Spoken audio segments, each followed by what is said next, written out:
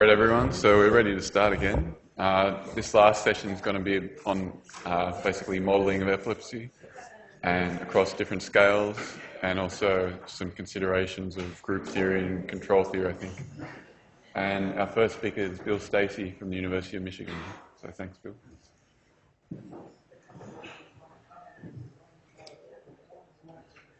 All right. Uh, first, I'd like to warn you all that I'm going to say a lot of things that I don't necessarily believe.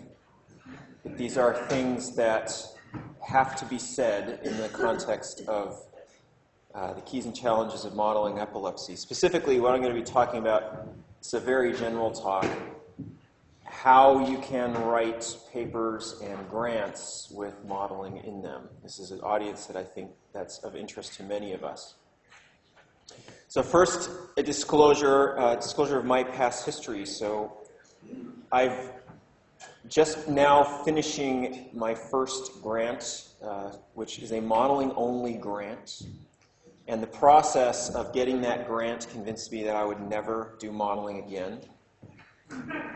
Uh, I'm an author of several modeling-only papers, and uh, these, these, are actually real figures. So one of the papers, I had 90 questions to answer from one of the reviewers. That, that's the actual number. And on another one, uh, I submitted a paper to a journal and waited five weeks for the editors to say, no, we're not going to send it to reviewers, which was excellent. Uh, and then most of all, that of all of these modeling only papers, none of you have probably read them. So that tells you something. On the other hand, I'm just now going to be starting another grant that has modeling in it. Now, the modeling this time is one piece of 1A, which is kind of telling. I only put it in there because one of the people that's on the grant with me basically begged me, why aren't you putting modeling in your grant? And my last two papers were modeling. And uh, some of you actually, one of these papers has actually been talk, talked about already today. So, not completely uh, bad news, but there's a lot of bad news. First, just a little exercise. I'd like each of you to think of all the modeling papers that you know, just kind of tally in your mind, or how many modeling people can you think of?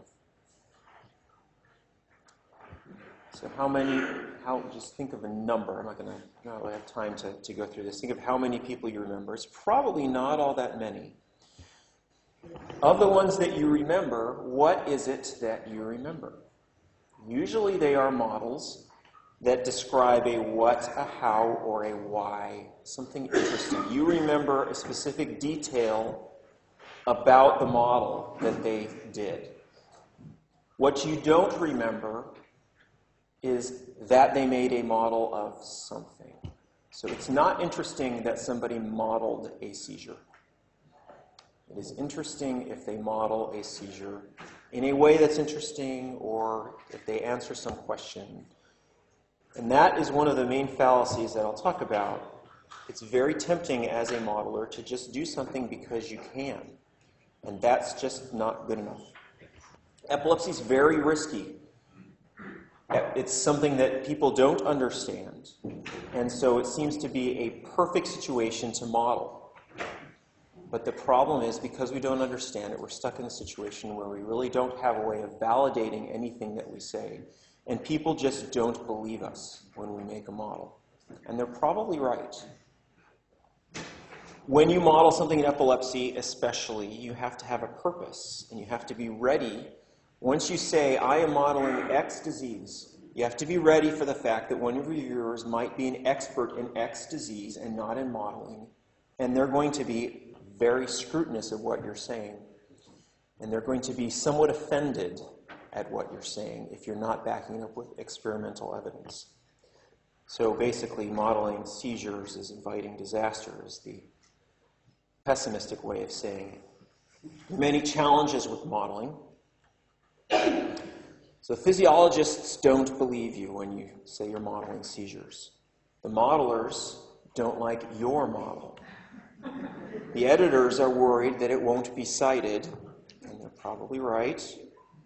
And reviewers are easily offended, and you're always in for a battle. So, since I'm in Australia, I decided to find a, an Australian version. Actually, this is, I'll say it's more of a Pan Pacific version of the process in which we review papers for modeling.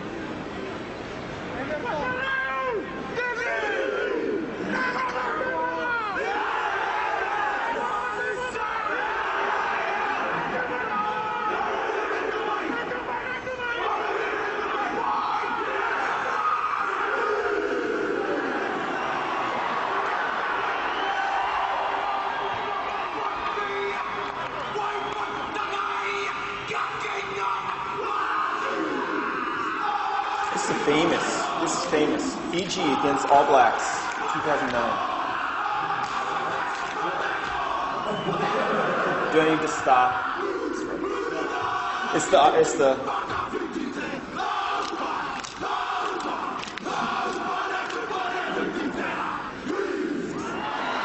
This is uh, known as testosterone incarnate. But uh, so that's the haka dance yelling at each other, challenging each other. And those of you that have been trying to write, maybe that works for all papers, but uh, you're always in for a battle, especially with, with uh, modeling papers. So these are actually, they're going to be a bunch of real quotes from real modelers. I'm not going to tell you who they are. Some of you may be able to guess who some of the people are. Uh, it's amazing how well these quotes match each of the people that they are connected to. So I, I collected the usual suspects of experts.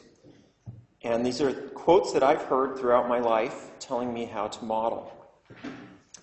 I would never try to do what you are doing.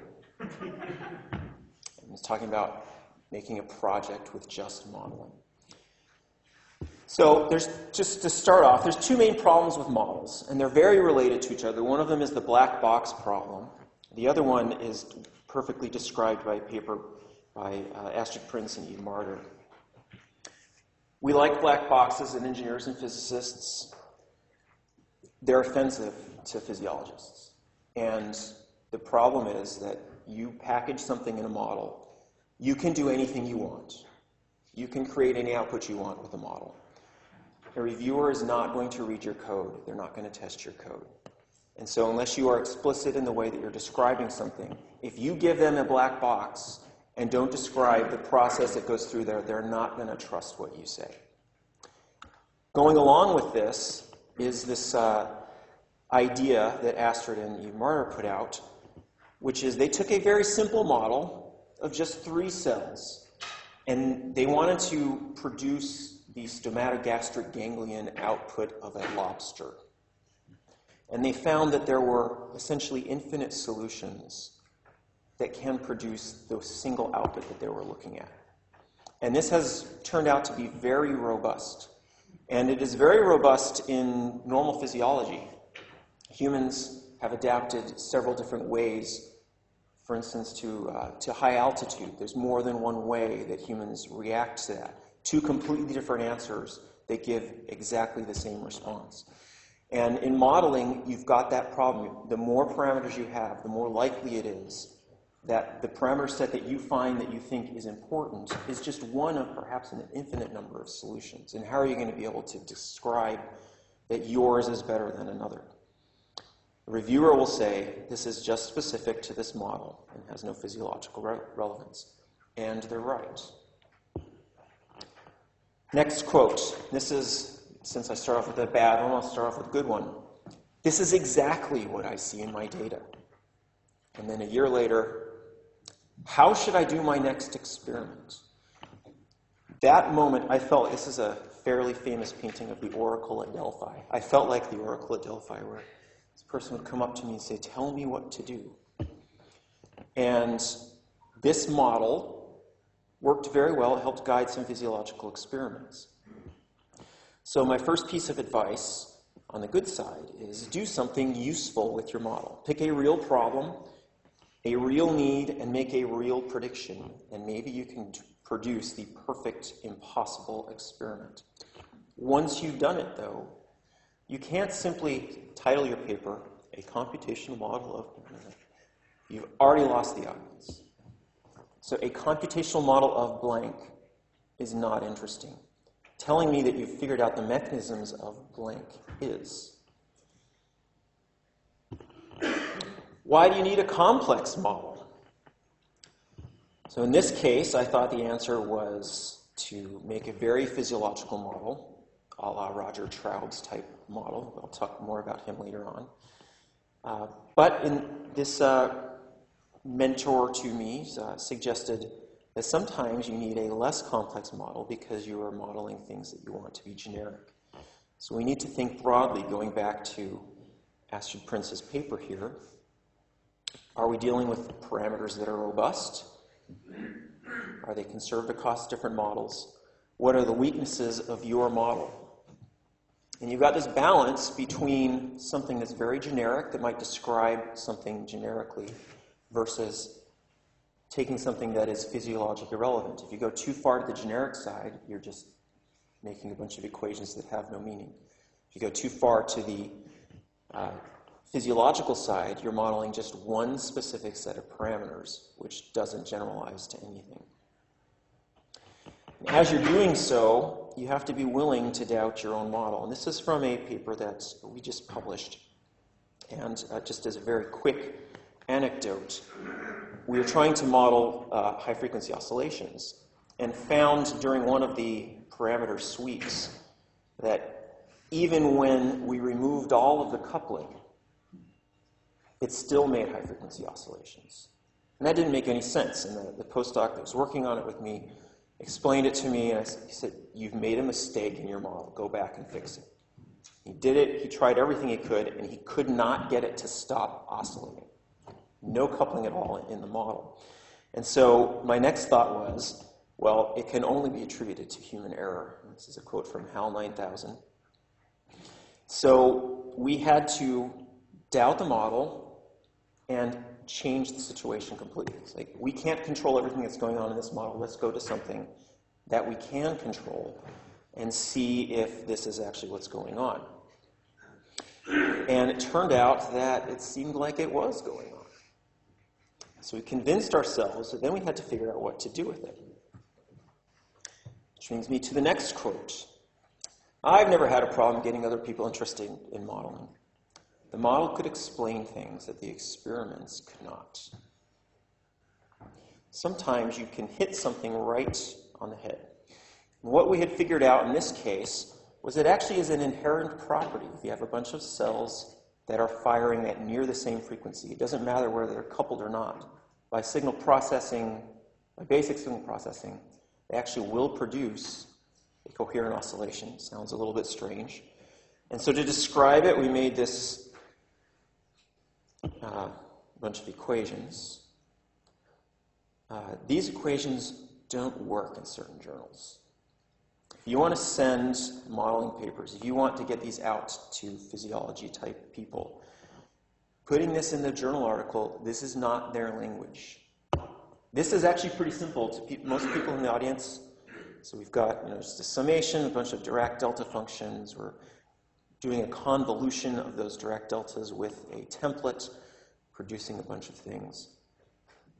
You've lost a lot of the audience there.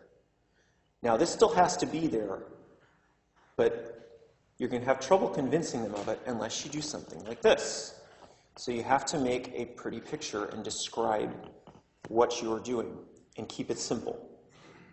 In this case, we were trying to produce through just a random sequence of Dirac delta functions, we convolved them with this template of the output of either action potentials or a postsynaptic potential, and proved that we actually could produce coherent oscillations with completely uncoupled neurons. In this case, we knew what was going on completely, and so we knew that, that it was going, it was doing what we thought it was. And then we decided to make an even prettier picture, which looks nice. We showed what the oscillation looks like. We don't always do this in modeling, but this is the type of thing. If you can make a nice, pretty picture and show someone what it is that you're trying to do, it is a very powerful way to convince people what you're doing. We've been looking for evidence of this prediction for the past 15 years. Sometimes you need to be willing to move on. This is a set of equations that was going to be in that paper we just published. And this set of equations was inappropriate for the audience. And the editor wrote to us and said, the analytical slash math section is still an issue. A better fit would be in a theoretical journal to study. We would need feedback from a theoretician. I would suggest removing this part. Gone. Okay, that took a lot of work. So, what, what uh, Chris Fink had done in this case is he had analytically derived the statement that I said before that you can take a bunch of cells that are completely uncoupled and produce a coherent oscillation. Many of you in the audience may think that what I said is a little ridiculous. But this equation actually, this, these equations actually prove it. It's not in the paper. Not the paper because it just wasn't going to be wasn't going to fit. You had to be willing to take it out. On the good side, I suggest a model sandwich, and this is probably the most important thing I can say today, anybody that's interested in modeling. The normal process in which we think about modeling is you, you come up with an idea, you model it, and then if you want to get it into a high-end journal, you find some type of experiment to try to validate the model that you've done. That often works, but what the most effective modelers try to do is a little bit different. When they present it, they do it a little differently. They don't say, we made this model, and then we proved the model. If you just take half of that proof and change your story a little bit, we made this observation. We decided to describe it in the model. The model made some predictions, and then we went back and tested some of these predictions. A model sandwich. You sandwich your physiological data on either side of the model. That is a, a very good way of getting things into high-end journals. And a great example of that is Fabrice Wendling. So he has done a lot of modeling in neural mass models, which are kind of on the, the low-end scale of, of detail. But he's gotten these into high-end neurology journals, such as Annals of Neurology, and he's done it by sandwiching around uh, physiological data. I don't care about the physiology versus are those parameters physiologically relevant? The yin and yang of modeling, finding this right balance. Sometimes you have to be really careful and make sure that people don't think that you're cheating. This is uh, an example from our recent paper. We wanted to describe the difference between the local field potential seen by action potentials versus those seen by uh, postsynaptic potentials. But to do that, you have to model a bunch of cells that receive these postsynaptic potentials because they're very small. So within the model, we just call those satellite cells. That offended reviewers because it seemed like we were cheating. So, again, at the advice of the editor, we just decided to call them additional pyramidal cells simply by changing the name, calling it something else. It no longer looks like we, we weren't cheating, but by giving it different names, it seemed like we were adding things to the model. Choose the right journal. Now, this, uh, I've got a lot of data here. This, this is what uh, took me more time than anything else in this paper. Fabrice, uh, who wanted to be here, as soon as he found out I was giving this talk, he said, You need to look at my paper that's just coming out. I actually don't know if it's technically been printed yet. He did a review of computational models of epileptic activity. And in this review, I decided to go through every source and analyze the, uh, the metrics of all these sources. So, what I did he has gone through, this is the most recent review article we have on computational modeling. I found where the citations came from, what type of modeling it was, and how many citations per year. And this is our distribution 172 journals, citations per year, 48 of them have never been cited. And looking at these, you can see the distribution is very spread out. The mean, 6.6, is not that great, but that mean is severely influenced by Hodgkin and Huxley, way up there at 105. Bartos, uh, that's a very cited, very highly cited paper, and then Wang and Buzsáki, 1996. Take those away, and the mean drops down significantly. So I think the median is a much better way of looking at these papers. So splitting these up, detailed models, these are models that talk about specific neural parameters, trying to build neurons. The median here is 3.4, and the, the mean was highly influenced by Hodgkin Huxley and then Astrid Prinz's model we talked about before. Most of them below 20 citations per year. Mathematical models are probably the worst, median of 1.9. The highest there is uh, Viktor Jirsa's paper from last year. Neural mass models, the highest is Wilson and Cowan, which most neural mass models start off saying Wilson and Cowan, and uh, from there they, they talk about neural mass models. It's a little, little bit more spread out, but again, the median is pretty low, 2.8. EEG analysis papers are one of the higher ones. So this is more of a uniform distribution. Uh, the two highest are not that much higher than the others. And surprisingly, the review papers don't do all that well. In most, uh, in most subjects, review papers are the highest cited. In this case, it's not true. And if you look at the top three here, two of them aren't even about modeling. So Lopes da Silva's mod, uh, modeling review paper from 03 is highly cited. But uh, the rest of these modeling papers, modeling review papers, just don't get cited very often. Contrast to, to the physiology, their median is 5.6.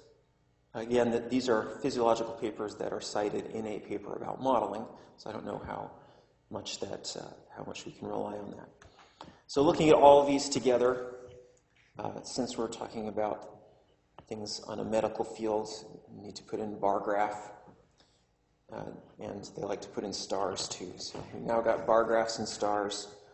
And the lowest is uh, math and neural mass models. Quantitative EEG actually does very well. Uh, this list, I think, is probably the most interesting. I, I guess uh, I can make this list available to anybody that wants it. But going through where are each of these types of papers published? So detailed journals, uh, journals that accept the detailed models. This is a list of them. Um, looking through, there are some pretty high-end journals in here. Um, yeah. There are quite a few uh, journals in physics that wrote that publishes modeling in uh, they weren't cited in this. I'm just going by this one paper. So this is this is Fabrice's paper. The mat, the journals that that uh, were cited for math mathematical models. Different set of journals. Some of them are showing up in both. Uh, going to the neural mass models, this, this is the one that's the most different from the others. There's a lot of uh, more physics style journals. And biological cybernetics uh, shows up on this list only. Quantitative EEG journals, these are now the more clinical ones. Physiology journals are spread out over physiological journals as you'd expect. And then the review journals are kind of a mix of the highest uh, neuron, progress in neurobiology, and then some other uh, just review journals that shows up. So, why would we want to be modeling? We would like to explain these unexplainable phenomena. We'd like to perform the unperformable experiments. Uh, we get novel insights and we can make lots of data at a time. And it's just fun. And those of us that like modeling, it is, it is a lot of fun, but we've got to be able to publish it and we've got to get, get it accepted. So you're telling me there's a chance?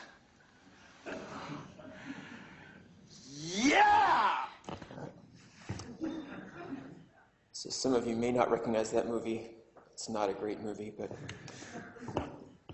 So, just a couple of anecdotes to finish up of some very successful models. So thinking about detailed models, the first name that comes to my mind, and uh, there's several other examples too, is, is Roger Traub.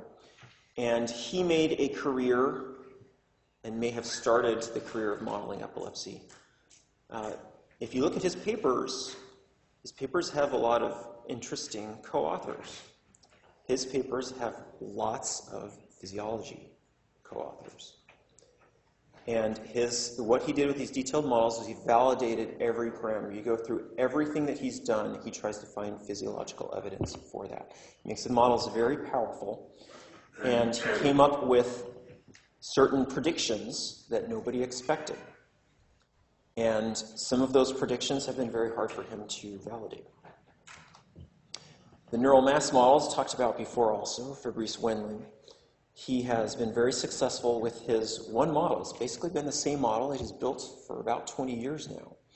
And he collaborates with human and animal physiologists and matches his, he tries to explain the shape of the output based on kind of the simplest inhibitory and excitatory parameters. On the other end of the, spectrum is Viktor Jirsa, who's done a lot of modeling uh, of different dynamics, and most recently the epileptor that uh, I talked about previously. And uh, I will expose him. He's the one that said, I don't care about the physiology. And he really doesn't. So in this case, he's trying to model something that is a generic dynamic of epilepsy and doesn't want to get muddled down by any specific parameters. As, uh, as we were writing the paper, his constant he was constantly bringing up Eve Marder's work, saying, how can we constrain ourselves to one set of parameters when we know that there's an infinite number that might be able to get us the same result? What, uh, we don't, don't have time to talk about all of the, the predictions of his model, but what made this uh, very powerful model was the fact that he took basic canonical theory of physics dynamics and fit it to a very brief set of data that he had. And when we knew that this model was going to be successful was when he went back to uh, Christophe Bernard, who had given him this tracing here on the bottom. This is a seizure from a mouse. Except the tracing that Christophe gave him was uh, AC filtered. So it had no DC component at all. If you can imagine this line here completely detrended. So Viktor had done his entire analysis on these data, and he went back to Christophe and said, Christophe, there's something wrong with your data. It's supposed to have a DC shift during the seizure. Christophe said, Well, it does, doesn't it? No, it doesn't. He showed him, Oh, I'm sorry, I gave you the AC coupled data. He gave him the actual raw data, and there was the DC shift. And that's when Christophe started thinking, no, it sounds like he's really onto something here. Because he had predicted something that was actually in the data, but we had false, falsified that data and taken it out. So there are several predictions that were made from uh, this model. I think the most important of them is that seizures are an inherent property of neural networks. We think of epilepsy as a disease when in fact any brain can seize. What Epileptor predicts is that there is a bifurcation, a seizure threshold, and our brain exists in a certain spot. And if that threshold gets moved down due to epilepsy, or if our brain state gets moved towards a threshold due to something that we've done to the brain, either one of those things can cause a seizure. That uh, model has led to many different uh, aspects of research in, in all of our labs, even though it had nothing to do with physiology. So, to finish up, I'd like to just say a bunch of things that uh, I, as a reviewer, don't like about reading papers. So, the first thing that comes to mind is that I read a paper or a grant and I cannot understand what they're talking about. If you can't get me to understand it, I'm not the best modeler. I, my brain is split between uh, research and, and clinic stuff. And, but if, if you can't get me to understand it, then it's not an acceptable paper or grant. And then uh, the rest of these things, there's a common theme here. So you don't explain why it's physiologically relevant. It doesn't have any physiological relevance. You've contrived some physiological relevance. You haven't validated it experimentally. Or you've gone too specific or too generic, or you've invented a treatment that is pure fantasy. You've got a model that means nothing, you do something, you stop the seizure in that model. I'm not going to be terribly impressed. Again, I told you at the beginning, I don't necessarily believe everything I'm saying. I'm just saying what goes through reviewers' minds. So then to finish with the final quote, the hardest reviewers are usually other modelers. Every modeler only likes their model. So to the people in this room, don't throw stones. So be nice, be fair, and be open minded. We are the ones that have to advocate for other models. Now, I will say every once in a while, I'm asked to review a paper where the model is really cool. And I have gone to uh, editors and fought for those papers. And that's something that we need to do. So, anybody here in this room that reviews a paper about modeling or a grant about modeling, if you think it's good and you don't fight for it, it is not going to make it. I will tell you that. You will not make it. Because we are the ones most likely. we're probably the one modeler type person that is on the panel. The rest of the people are probably going to be more physiological, depending on the journal.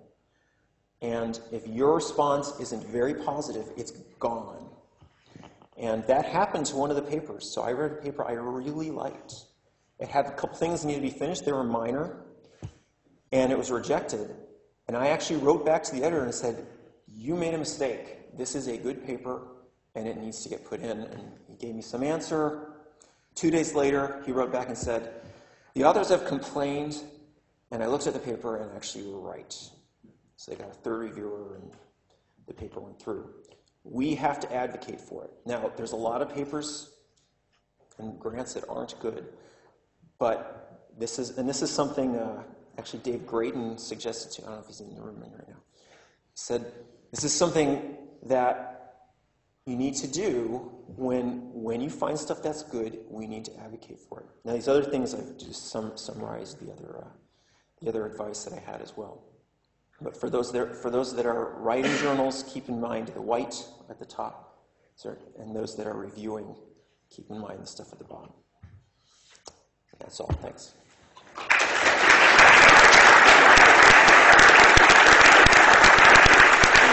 All right, there's time for a couple of questions.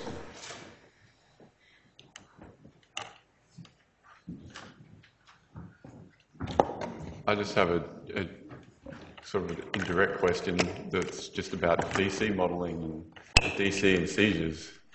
What do you think about that? Because there's previous papers that sort of, like physiological studies that talked, talked about seizure change being linked to DC shift, but it didn't seem very mainstream. And then so I, I, have a lot to say about that. It seems a bit more mainstream.